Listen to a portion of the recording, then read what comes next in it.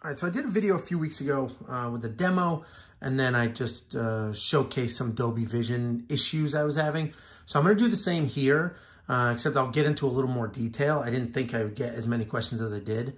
So I'm getting a ton of questions around what I've tried, what I haven't tried, you know, what actually does work, what it looks like, etc. So I'll, I'll, click around here, I'll do a quick demo, and then we'll talk about uh, some Dolby Vision issues. I might have to mute it here and there because last time I got uh, some YouTube flags, but so we're using an NVIDIA Shield. This is the newest, you know, the 2020 Pro, the newest one.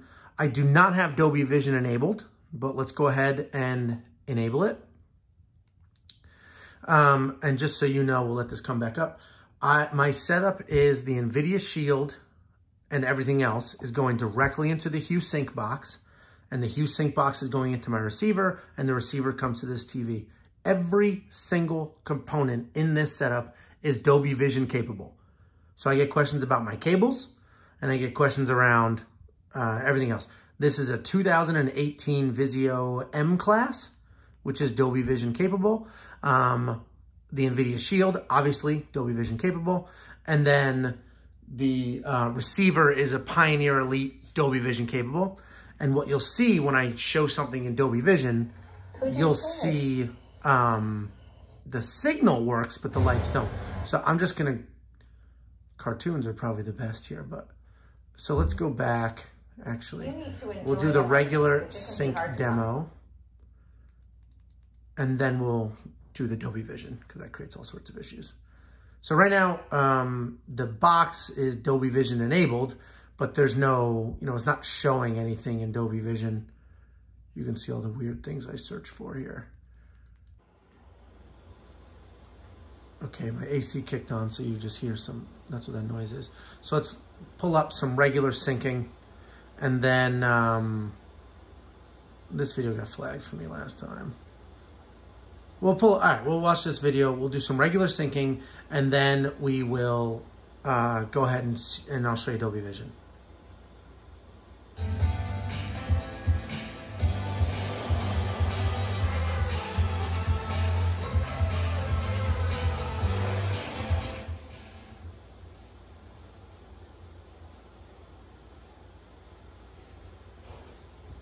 So you see it's syncing really well. This is, you know, uh, HD, might even be 4K, I'll have to look, but it's syncing really well. I have, my setup is a Dolby light strip up top, a play bar on the left, a play bar on the right. Um, you see there's a play bar on the left and the right on that, that hovering cabinet. That's from Ikea. A lot of people ask me about that. It's a Besta. And then I have another light strip underneath the cabinet aiming down. So this syncs really well. It looks fantastic.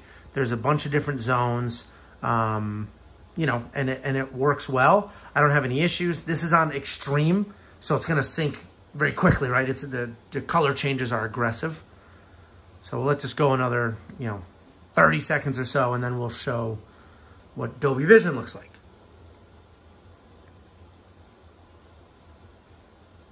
Okay. So now let's pop into something that's Dolby Vision. I lowered the volume because it's just so loud. Uh, we'll pop into something that's Dolby Vision and see what that looks like. So again, we have Dolby Vision enabled. The way this box works is if something's enabled, like when you enable Dolby Vision, it's only going to push Dolby Vision when that is the quality. Meaning right now this menu is not Dolby Vision, right? It's just regular HD. If you have an Apple TV, everything will be Dolby Vision. The menu, the previews, everything, because the Apple TV will sort of upscale, I guess, whatever it's doing. So this is not the case. That's why I like to use the NVIDIA Shield. It's more accurate, if you will. So we'll just do Project Power. So you see Dolby Vision, Dolby Atmos. And we'll let it play. And if you look right there, then we'll fast forward. Just go to another random scene. Here's just normal bright. I actually just disable Dolby Vision entirely because, um, no, this the lights aren't going to sync with it, so forget it.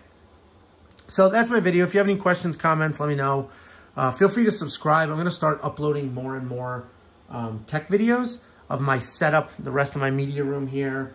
Um, the wiring closet that I actually have all this stuff in is uh, pretty cool with some old uh, video game consoles and stuff. So you know, like, subscribe, questions, comments, and, and tips. I've tried pretty much every single thing you can imagine. But if for some reason I forgot something, I'd love a tip. And, um, you know, maybe I can get this going. So let me know if you have any questions, and uh, thanks for the watch.